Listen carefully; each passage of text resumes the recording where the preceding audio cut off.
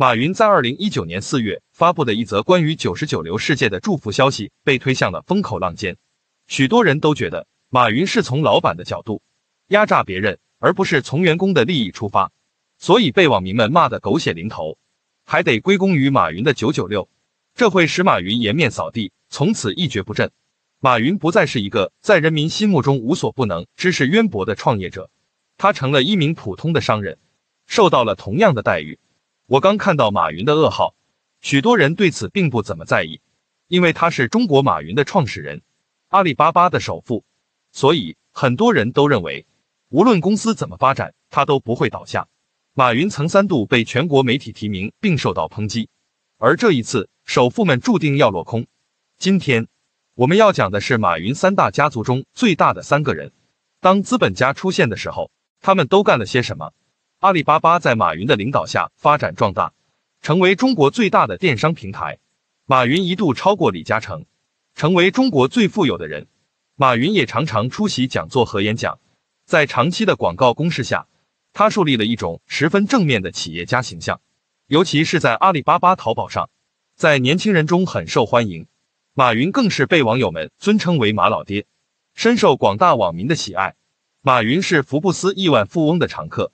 他常常在公众场合表演京剧，比如“我对金钱不感兴趣，我为创建阿里巴巴而感到遗憾”，就是因为马云这个字眼，网友们嘲笑他，说他现在只想着赚钱。二零一九年八月二十六日，他在讲话中表示，马云的热情是如此的高，他毫不掩饰自己的雄心壮志，说一个年轻人就能改变九九六的工作机制。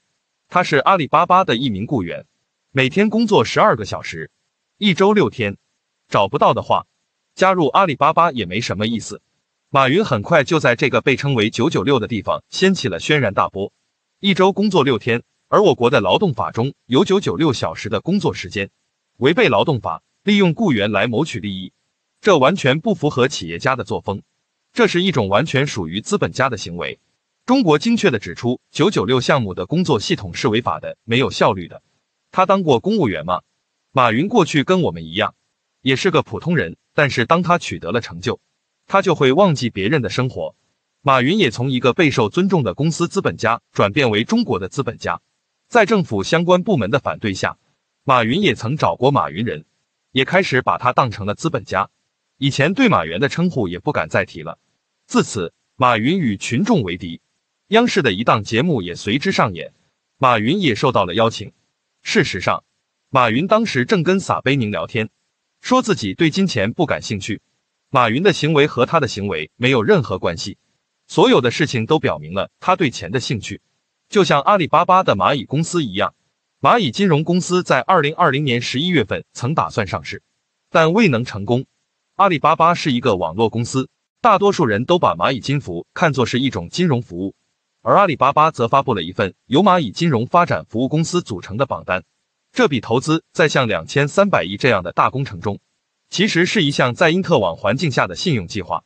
这是一种金融贷款，也就是小贷公司需要用支付宝支付。华北和德公司的蚂蚁金服是借助了网络上的海量数据以及支付宝的大量用户，向消费者和小型公司提供财务服务，但是要通过消费来实现。这笔钱并不是他的，也不是阿里巴巴的任何一个公司。蚂蚁集团在银行借贷，他们通过银行的贷款来赚取顾客的利润。蚂蚁集团仅有小额按揭，你可以向银行借款，并借助金融手段，仅三十亿元、三千亿元、一百多万元，在此存在着金融管理上的重大风险。但是蚂蚁金服集团依然不满足于银行贷款，因为能借到的资金依然很少。因此，马云就相当于马云在上海金融峰会上说。他想要通过发展银行来获得所有的资金，如果不是银行贷款，那么四百九十七的银行会对轩辕家造成很大的冲击。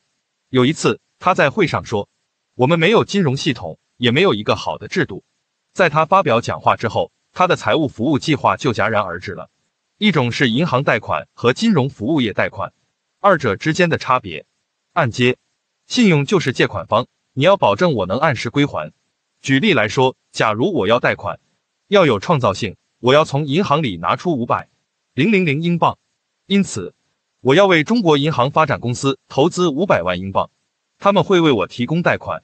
如果时间到了，我无法支付，我会根据借款者的信誉来支付，接受我的商品作为抵押品，并取得信用。这是一项很好的信用，你不必申请抵押。由于你们同样有信用，比如我借了三万册，这两本都是废纸，你被检查了一遍，我的声誉更好。我若有能力还，就借给你。我希望能及时偿还，我不需要任何的按揭。马云非常想成为金融服务业的一员，他之所以这么做，是为了给学生们提供更多的资金和发展空间。马云的资金规模可以再增加二十亿元，这意味着什么？这就意味着，仅需一次融资，马云可以弥补这一差距。恒大的负债让徐家损失了一块钱，今天马云的公司能赚到多少钱？我想许家印一定会嫉妒的，原因很复杂，一句话，就是银行自身的资产超过了二十亿元，他们无法用二十亿元来管理风险，而且一旦这份清单出错，金融行业就会迎来一场新的风暴，因此政府肯定不会把自己的名字挂在美国的公众面前，这也是阿门金融集团未能成功上市的原因。越来越多的人明白了其中的缘由，于是他们开始觉得马云是个戴着面具的人。医生恐怕对金钱没有太大的兴趣。如果蚂蚁金服公开了，那么在我们的股票市场，每股就是六十八元，八元；香港交易所八十元，美国股票的发行价将达到两千三百亿元，成为美国乃至全球最大的股票。这就是 EPO 的想法。马云能赚钱吗？好了，今天的内容就到这里，欢迎大家在下方评论区进行补充。喜欢的朋友可以长按点赞触发超级赞。后续会带来更多的精彩内容，我们下期不见不散。